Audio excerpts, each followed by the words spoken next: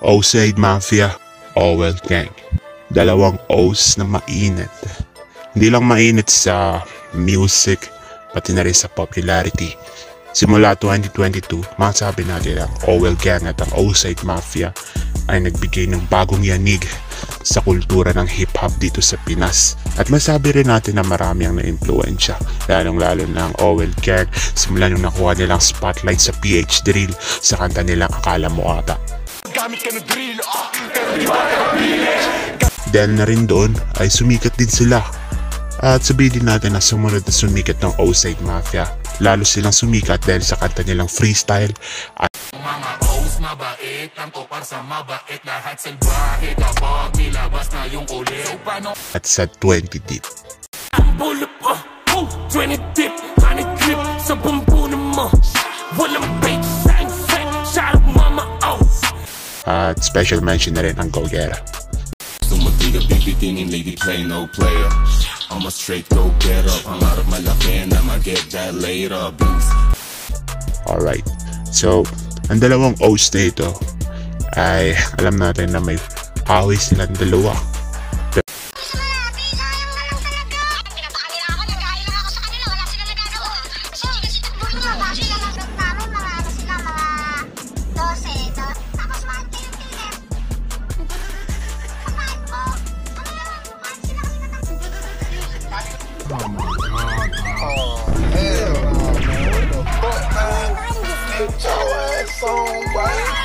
Boy, get your goddamn ass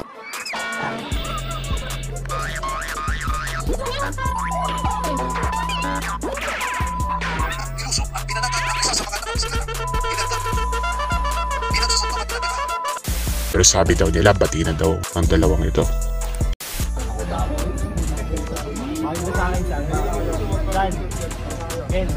Bagay sa akin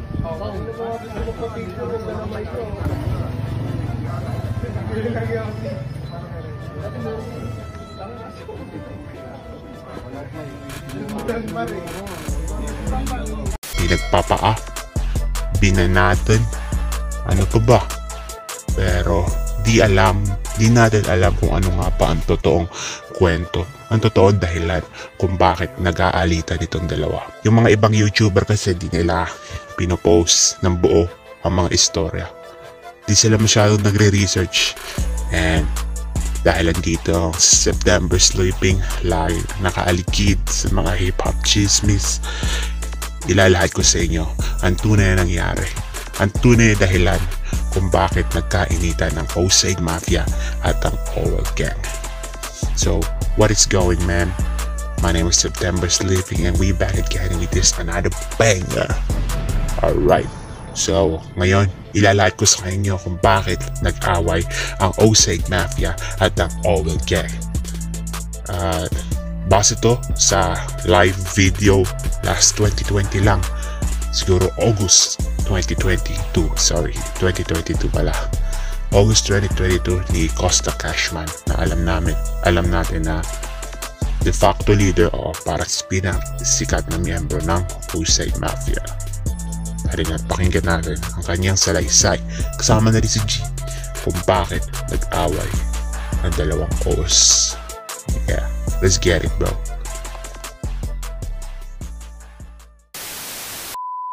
Nagsimula lahat ng ito noong nabanggit ni Costa Cashman na ginaya nila Nate Man at ng OL Gang ang kanilang track na tinugtog nila sa IG Live. Ito kasi mga red toys na to, nag dati kasi, parang ganito lang, nagla-live ako, tapos nag-sound trip kami ng mga kanta namin.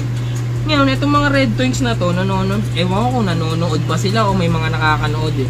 Piniplay ko yung mga kanta namin na ano, na unreleased. Ngayon, may kanta kami, yung Mausay nga, kung alam nyo yung 4-5 nilang kantas na mag, parang, alam yun, parang halatang ginaya tol. Ngayon sa akin, parang Ang track na tinutukoy ni Cashman ay ang 4-5 na kanta nila Nate Man na may halong West Coast, Shoreline Mafia influence. I'ma show you how to rock with a pop vibe Kami trapping habang kayo nasa crossbody Naging bowling niya salamat kung kay Mosai She gon' pull up in my hood power all night. Hey, I'ma show you how to rock with a pop vibe Kami trapping habang kayo nasa crossbody Naging na alam natin ay inspiration ng Oside Mafia. Tawag dito yung pangalan ng outside. Kaya outside mafia. Kasi dati sound trip ko shoreline mafia, ganito ganyan. Ako sabay sobrang baliw na baliw ako sa kanila dati. Siguro mga 2018, 19 yun, parang ganun. Tapos, yun. Sa akin, pinalagpas ko na kasi nakikinig sila sa amin. Tsaka gusto ko sila umangat. Tol, kinuha ko nga sila sa event ko eh, kahit di sila sikat eh. Di ba? First show namin, sinabay namin sila sa amin. Ngayon, eto na, dadadadada. Nangyari na lahat-lahat. Ngayon, ang nangyari, nanguha na naman itong mga puto lyrics, buong lyrics na ni Ginit yung kinuha. Totoo Ngayon, yun. Ako, kumbaga sa akin, wala akong pakialam tol, kinuha nyo, okay, sige, kumbaga, nasa sa inyo naman yung mali nun, wala naman sa amin eh. Pati gupit ko ginaya nyo. An- Pass. Anong nangyari? Eto na. Dahil nga ganun yung nangyari, ginaya nila. Etong si Stan, hindi ko alam, tinawanan niya na pala. Wala akong alam-alam tala. Kasi ako sa grupo namin, ako talaga yung ano eh, kumbaga kumakausap sa kanila, ganun.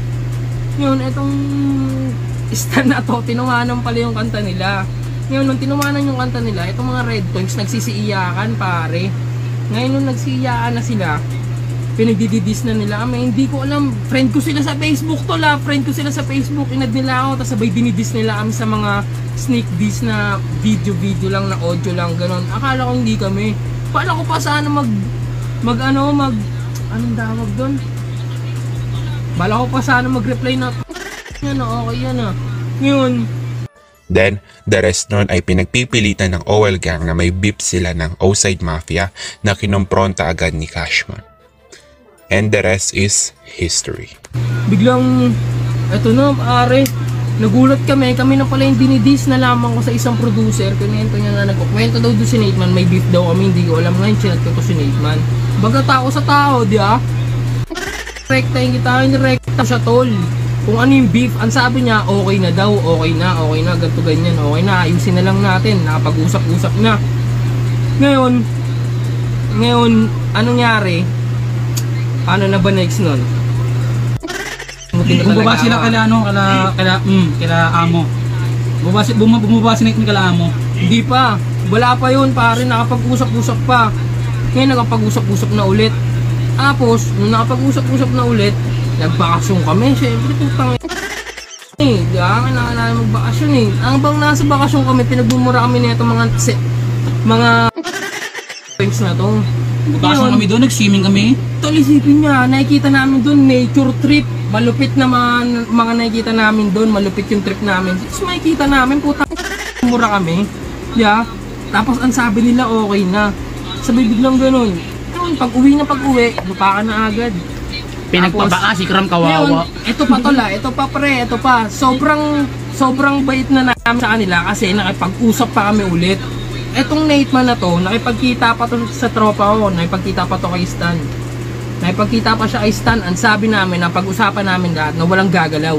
Tol, doon pa lang eh, di ba? Kumbaga, doon pa lang alam mo na agad na okay kami makisama sa kanila eh, kasi alam mo yun, na nga, kumbaga may beef man, dami nyo nang sinasabi sa amin, pero kinausap namin kayo ng maayos, tol. Di ba? Nakipagkita pa sa assistant. Kumbaga, dinala ka pa nga sa spot namin eh. Dinala pa siya sa spot namin, tol. Kung, kung, kung gago-gago lang ako, tol, inupakan ka na doon, pwede ka naman totoo lang. Ngayon malapit ka na Pwede ulit. ka naman. Ngayon malapit ka na ulit. Ngayon, napag-usap-usap, ganito ganyan, okay na daw, okay na. Ah, shorty shorty pa, inatid ka pa ng tropa ko. Wala kang pamasahe. Ito, inatid ka pa ng motor ng tropa ko. Tapos, ngayon, napag-usap na, di ba? Akala namin okay na, wala. Tol, sobrang tagal namin tahimik. Alam niyo yun, tol, di ba? Sobrang tagal namin tahimik. Wala kaming disback, hindi namin sila inaasar sa internet nila. Di ba? Ngayon, eto mga pu- nandidis na naman hanggang sa wala na, nainis na lang kami. So, in-expose na namin sila, di ba? Sa totoo lang, ayaw ko silang i-expose dahil mawawala yung fame nila. Di ba? Gusto nila mawala yun yung eh. fame nila. Mawawala yung fame nila sa totoo lang dahil hindi naman talaga sila yung kung ano yung sila kung ano yung nirarap nila eh. Hindi sila yun, tol. Di ba? Di naman sila yun eh.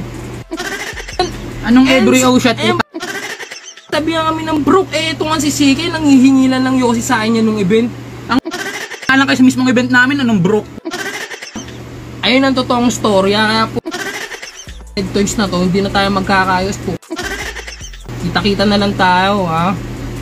Ina Inis to sa amin kasi di makakante, bitch!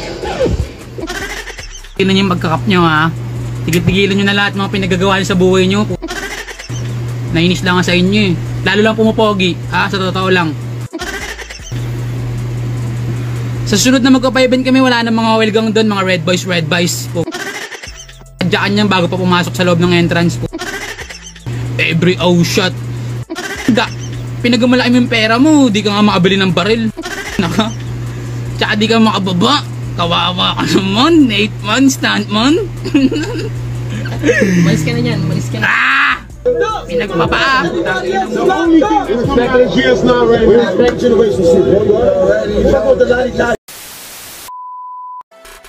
At nalaman nyo na ang dahilan kung bakit nagsimula ang beef ng dalawa.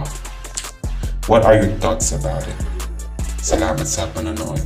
Like and subscribe para ganahan na mag-upload. Stay safe. Goodbye for now. Peace.